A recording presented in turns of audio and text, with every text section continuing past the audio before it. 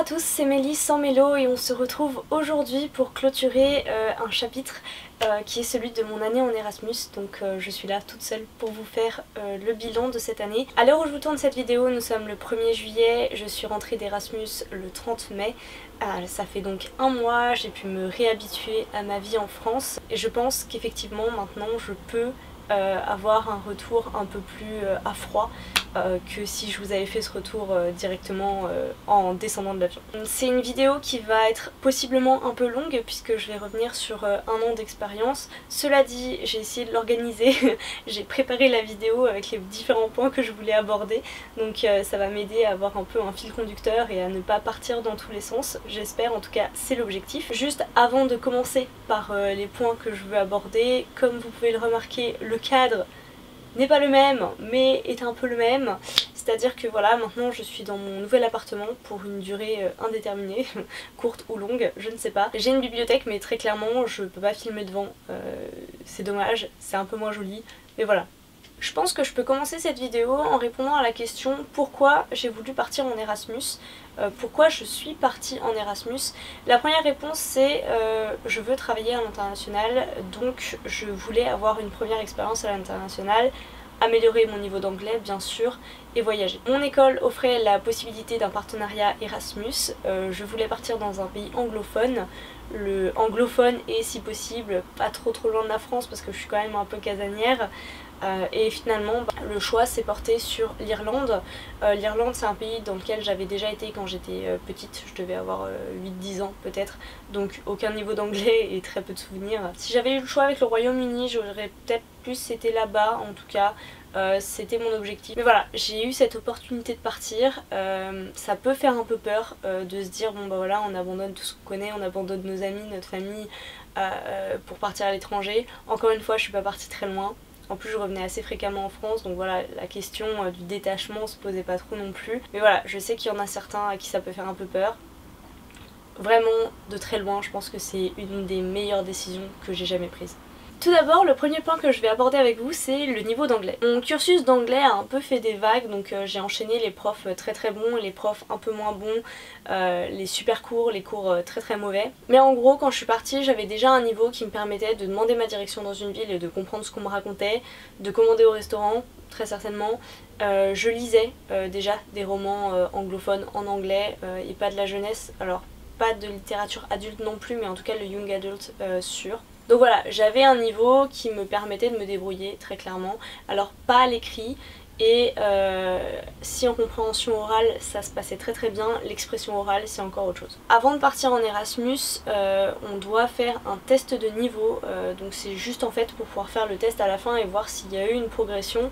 En ce qui me concerne, ça a été le cas. Donc c'est un test qui est proposé hein, par l'organisation Erasmus, euh, c'est pas du tout euh, ou euh, Cambridge ou quoi que ce soit. Et il teste la grammaire, le vocabulaire, la compréhension écrite et la compréhension orale. Je suis persuadée que pour progresser dans une langue, l'un des meilleurs moyens c'est de s'immerger dans un pays qui parle cette langue, donc en ce qui me concerne un pays anglophone, et de ne pas avoir le choix en fait que d'écouter et de pratiquer pour, euh, pouvoir communiquer. Mon amélioration au niveau de langue, je pense que euh, bah, au vu des résultats du test, même si c'est pas tant ça le plus important, mais surtout au vu de la façon dont je suis plus à l'aise en anglais, euh, je pense que l'objectif est atteint.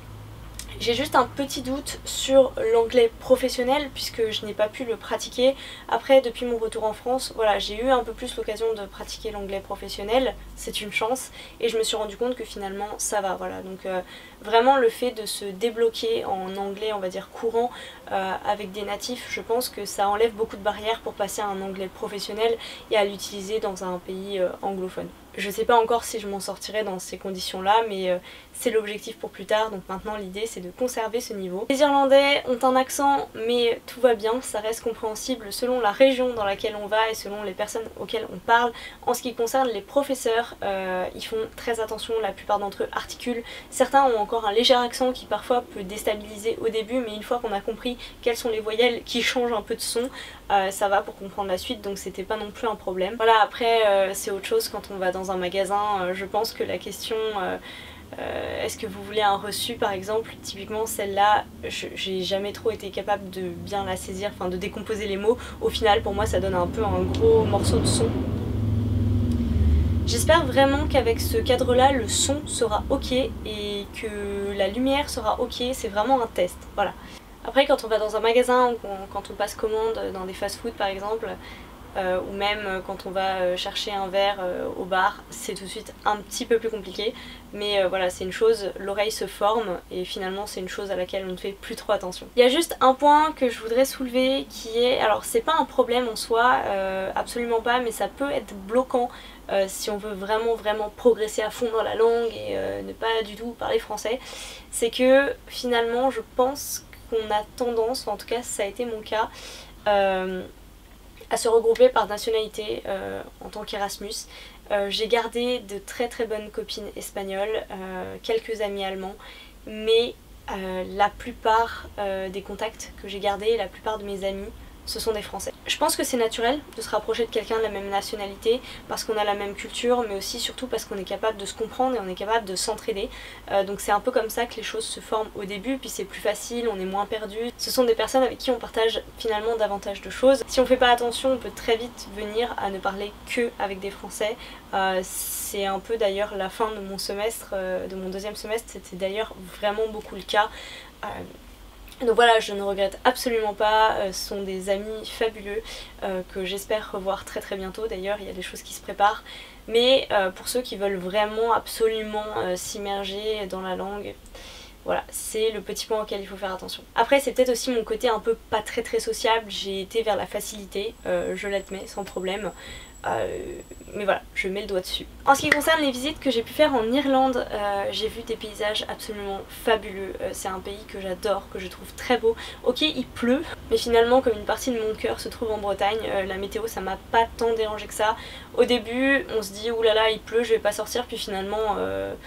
Bon, en fin de, fin de semestre, on a eu quand même des grosses grosses averses, de, grosses grêles où là, bon, on sortait pas trop, mais sinon, bon une petite pluie euh, on sortait sans problème parce que si on ne sort pas quand il pleut ben on sort jamais en fait. Sinon qu'est-ce que j'ai pu visiter? J'ai pu aller à Oath euh, qui est la presqu'île euh, près de Dublin.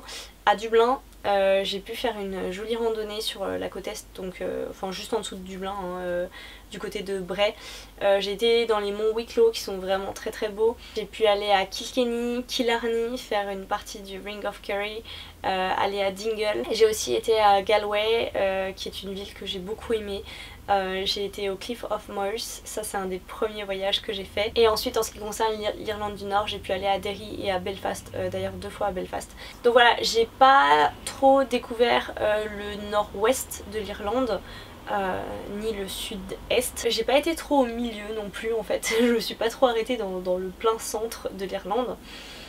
Mais je pense que j'ai fait un tour assez représentatif, oui. Le Connemara, je ne l'ai pas fait, c'est un grand regret, euh, j'y retournerai du coup c'est sûr, mais bon, c'était euh, une visite que j'avais faite quand j'étais plus jeune, donc là pour le coup j'ai des souvenirs, d'ailleurs les seuls souvenirs que j'ai de l'Irlande ça doit être le Connemara de cette époque-là. Donc voilà, je sais que c'est quelque chose qu'il faudra que je fasse, donc j'y retournerai, ça c'est certain. Euh, et je vous conseille très fortement de le faire si un jour vous avez l'occasion d'aller en Irlande. J'ai passé aussi 3 jours en Écosse et 4 jours à Barcelone pendant cette année.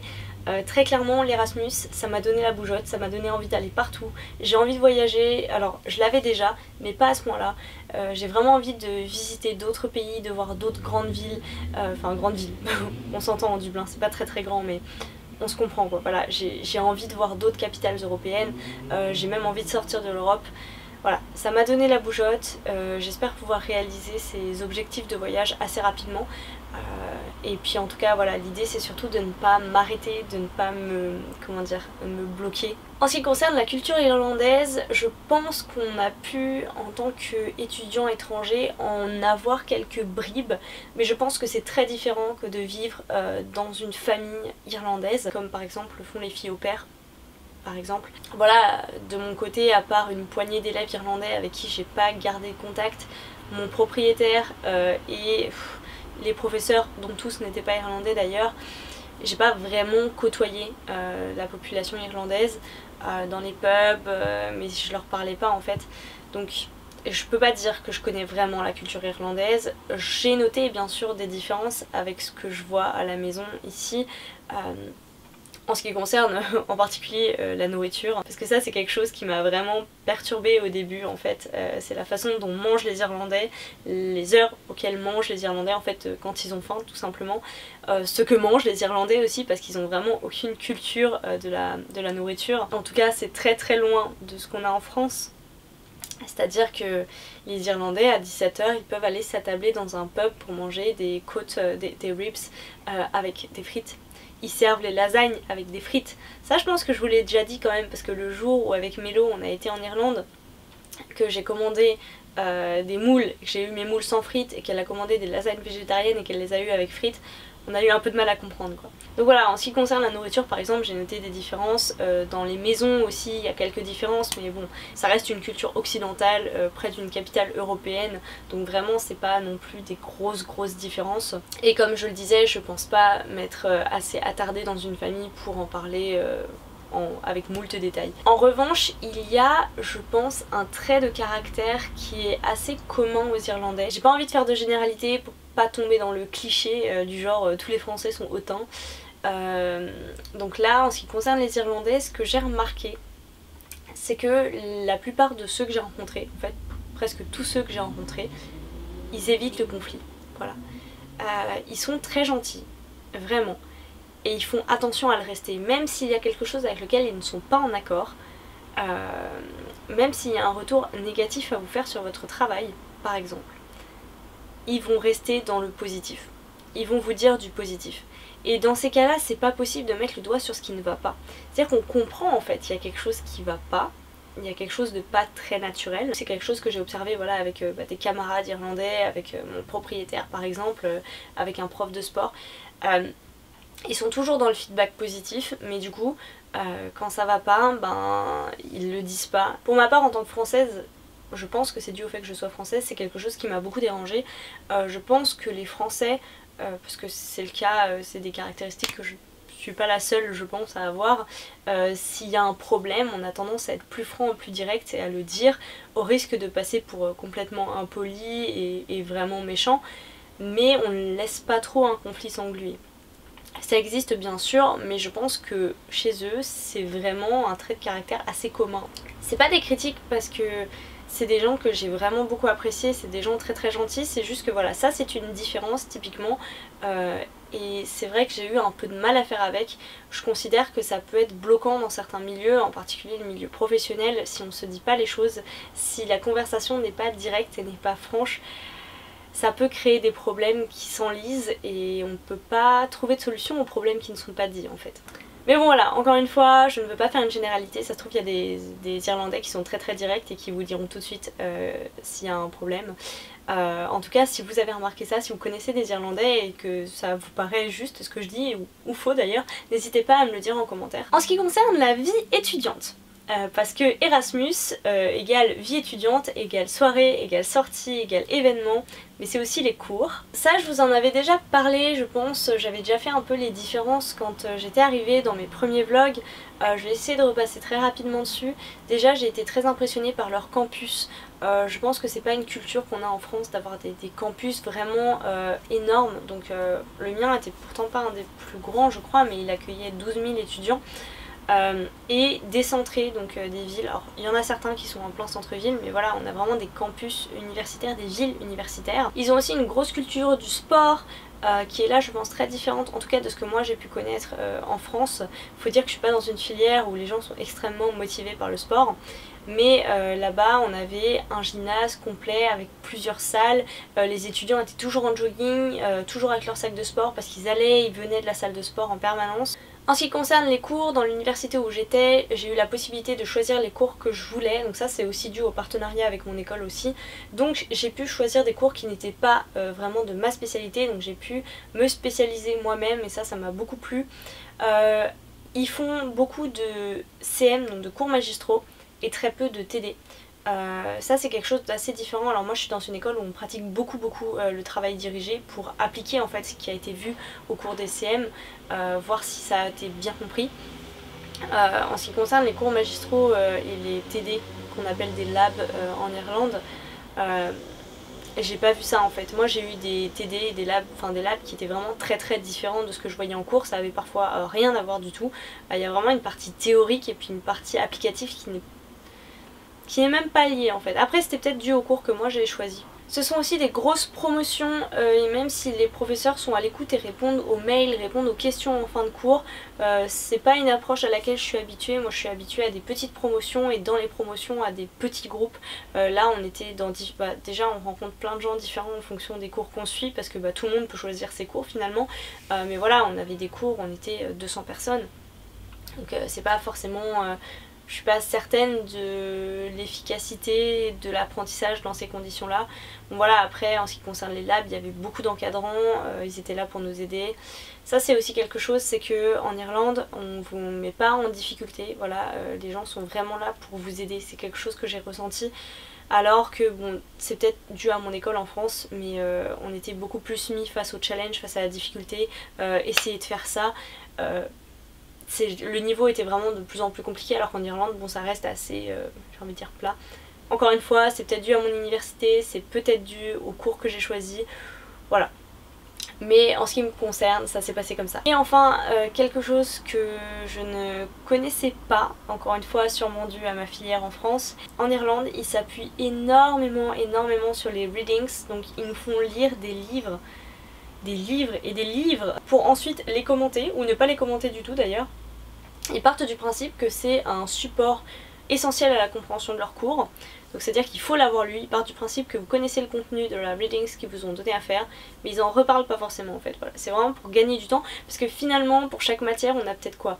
Deux heures de CM par semaine, ce qui est très peu, euh, voilà, et puis pas beaucoup plus d'heures de travaux dirigés. Donc forcément euh, ils essaient de gagner du, temps euh, d'apprentissage sur autre chose. Enfin en tout cas c'est comme ça que je l'ai ressenti comme je vous le disais, je suis pas du tout habituée à ce système de readings, euh, ça demande je pense euh, de l'organisation, euh, beaucoup de concentration aussi. En ce qui me concerne, je m'en suis sortie, je les ai pas toutes faites, hein, très clairement il y a des trucs que j'ai pas lus, euh, et j'ai réussi mes examens d'ailleurs, ça c'est quelque chose que je peux vous dire. Euh, ça y est, on a eu les résultats et c'est bon, euh, j'ai réussi mes examens, j'ai réussi mon année. Par rapport à ça d'ailleurs, je pense que ben, je me suis mis beaucoup la pression par rapport à la réussite de ces examens. Et en termes de niveau, je m'attendais à quelque chose de plus dur. Je pensais que la langue serait vraiment une barrière. Finalement, je m'en suis très bien sortie et je pense que c'est le cas de la plupart, presque je pense tous mes camarades d'Erasmus. Donc c'est pas quelque chose qui doit faire peur, c'est pas quelque chose qui doit angoisser. Voilà, je pense que c'est bien de le dire pour les personnes qui seront intéressées. Qui dit vie étudiante dit aussi soirée, euh, surtout en Erasmus. Euh, il y a des soirées qui sont spéciales Erasmus organisées par euh, l'IESN. d'ailleurs c'est une association qui existe dans tous les pays d'ailleurs et dans beaucoup de villes, j'imagine, où il y a des étudiants Erasmus. Si vous voulez plus d'informations sur euh, l'Erasmus et que vous en trouvez pas dans votre, euh, je sais pas, dans, auprès de votre administration, vous pouvez peut-être plutôt vous tourner vers cette association qui rassemble des anciens d'Erasmus et des gens qui sont, je pense, un peu plus impliqués dans le parcours et qui sauront vous donner toutes les bonnes informations. Les soirées en Irlande, ce qu'il faut savoir, c'est que ça finit tôt. ça, c'est une des différences par rapport à la France, c'est que nous, en France, on a des boîtes de nuit qui ferment à 5h, 6h du matin.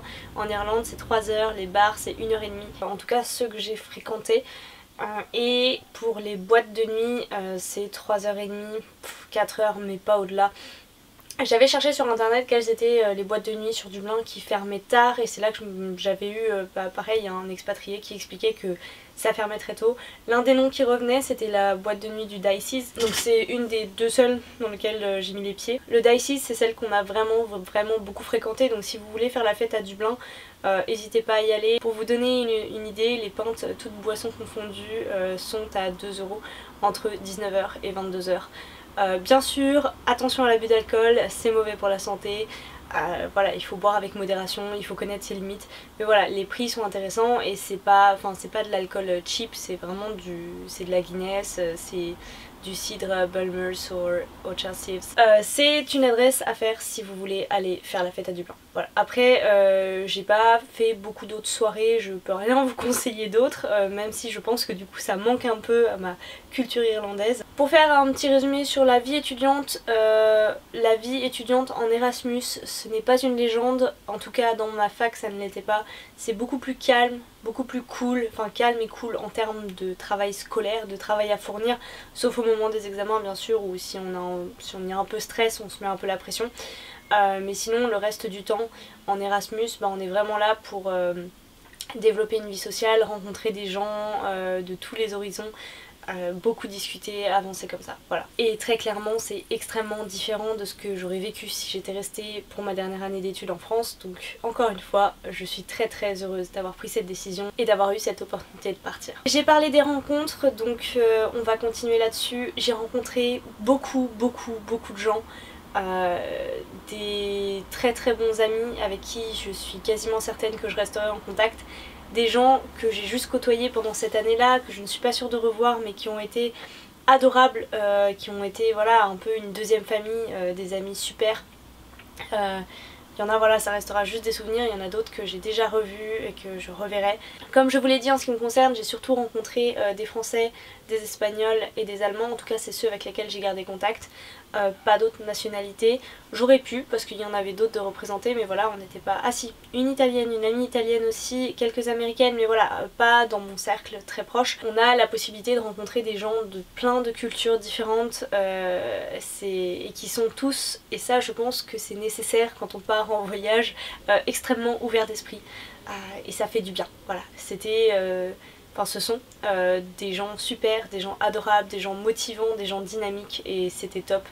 Euh, en termes de vie sociale, donc voilà, on s'est rencontrés sur des événements, on s'est rencontrés sur des soirées, ça tisse des liens, ce sont des liens euh, qui aident à avancer, qui aident aussi à oublier finalement qu'on est loin de sa famille, loin de ses amis, qu'on rate sûrement des choses qui auraient pu nous paraître très très importantes bah, si on était resté en France. Donc Très clairement, c'est un gros gros point de la vie Erasmus, c'est les relations qu'on se crée et les amis qu'on garde. Par rapport à ça, dans mon université, je pense que c'était pas forcément le cas dans toutes les universités puisque j'ai parlé avec euh, un autre euh, gars qui avait fait Erasmus dans une autre université.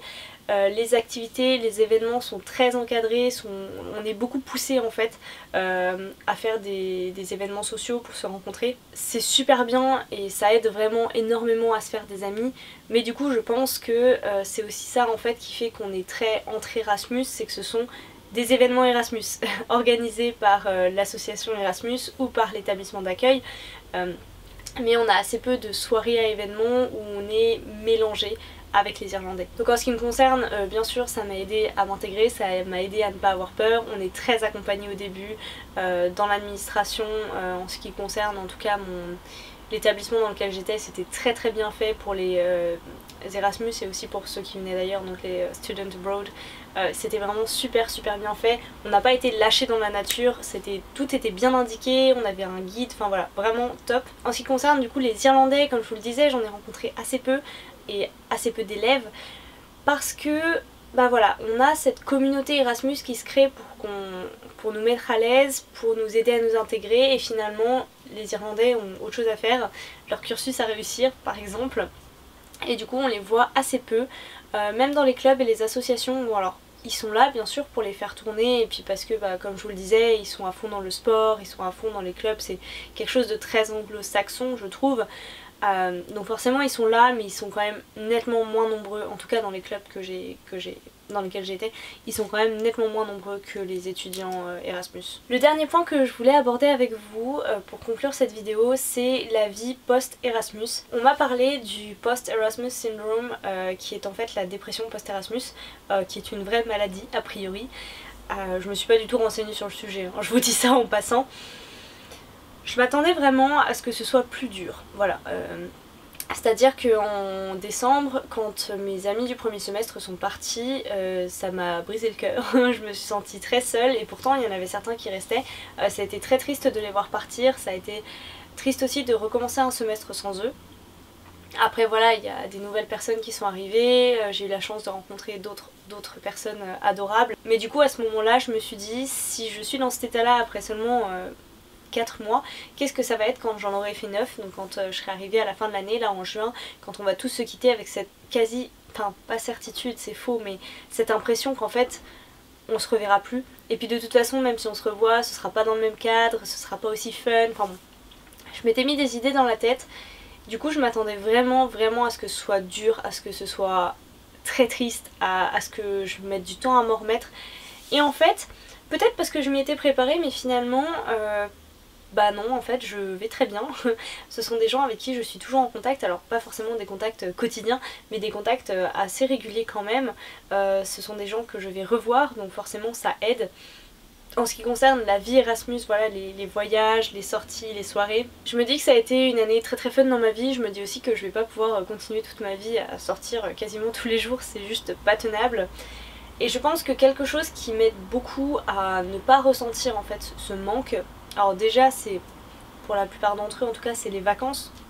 C'est-à-dire que voilà, on est rentré d'une longue période dans un pays étranger, on retrouve nos amis, notre famille, donc finalement on est très heureux de rentrer. Euh, je pense que le plus dur ça va être à la reprise des cours pour euh, ceux qui sont encore en cours, qui vont tomber dans une routine d'étudiants mais sans la partie fun d'Erasmus. Voilà. Là je me dis pour eux ça va peut-être être dur. Pour l'instant je pense qu'on va tous à peu près bien. En ce qui me concerne, euh, j'ai cette chance d'avoir fait Erasmus pendant ma dernière année d'études et donc du coup je suis à un stade où je rentre dans la vie active, euh, c'est-à-dire que j'ai plus du tout euh, les préoccupations étudiantes en tête. Ça y est, j'ai fini mes examens. j'ai encore une soutenance à passer, mais c'est fini quoi. J'ai plus de devoirs, je vais plus en cours. voilà, je suis vraiment rentrée dans la vie active. Et du coup, j'ai pas ce manque en fait de me dire oh là là, c'était plus fun avant. Là, pour l'instant, j'ai complètement changé de vie. j'ai mon appart à moi. j'ai voilà, je vais me faire des nouveaux amis, je rencontre de nouvelles personnes. Euh, tous les jours, euh, je suis dans un rythme où ça avance beaucoup, beaucoup, donc j'ai pas le temps de m'ennuyer et d'avoir des regrets et d'être nostalgique. Euh, voilà, je pense pourquoi, en ce qui me concerne, je ressens, je ne ressens pas encore et je pense que je ne ressentirai pas cette dépression en fait. Donc en gros je pense que typiquement je peux dire que j'étais très triste de partir, c'est certain les dernières soirées c'était c'était lourd en émotions, mais je suis aussi très heureuse d'être rentrée, euh, voilà, d'avoir, comme je vous dis, retrouvé mes amis, ma famille, euh, et puis surtout, voilà, d'avoir changé de rythme. Erasmus, c'est bien pendant un an, après je me dis, euh, à un moment donné, il est temps que ça s'arrête. C'est une page qui se tourne, ça a été une expérience absolument incroyable. Je pense avoir fait le tour de façon à peu près organisée de tous les grands points de cette année, de, ce que m'a apporté Erasmus. Ce qui est certain, euh, archi certain, c'est que ça a changé ma vie. Vraiment. Alors je sais pas si ce sera le cas pour tout le monde, mais en ce qui me concerne, vraiment ça a changé ma vie. Ça m'a ouvert de nouvelles perspectives, euh, ça m'a donné envie de, faire plein de choses. Euh, je pense que déjà j'étais quelqu'un d'assez dynamique, mais là vraiment j'ai vraiment la bougeotte. J'ai rencontré des gens super que j'ai envie de, de garder parmi mes amis et j'ai aussi envie de rencontrer d'autres personnes. Peut-être que ça m'a aidé aussi à sortir un peu de ma timidité, de d'avoir peut-être un peu plus confiance en moi. Alors pas énormément non plus, mais je pense qu'il y a du progrès. Donc voilà, Erasmus, euh, magnifique expérience. Euh, L'Irlande, un superbe pays dans lequel je retournerai, c'est certain. Mon objectif de vivre à l'étranger euh, est toujours le même. Mon objectif d'aller travailler à l'étranger est toujours le même. Donc voilà, ça m'a aidé, ça m'a poussé et il y a un seul conseil que je peux vous donner. Si un jour vous avez cette opportunité de partir, n'hésitez pas, allez-y peu importe que ça vous stresse, que vous ayez peur, euh, parfois il suffit de faire un grand pas en avant, de se lancer dans l'inconnu et euh, ça apporte énormément de choses. Voilà, j'espère que cette vidéo vous a plu. Si vous avez la moindre question euh, par rapport à, je sais pas, par rapport à n'importe quoi de ce que je vous ai dit, ou si vous voulez partager vos expériences, allez-y, les commentaires sont là pour ça. J'ai très très envie d'en discuter avec vous. C'est Erasmus, c'est aussi euh, partage, euh, convivialité, donc je suis là pour ça et j'espère que vous avez plein de choses à me raconter vous aussi. Et puis en attendant une prochaine vidéo, je vous souhaite à toutes et à tous de très très belles lectures.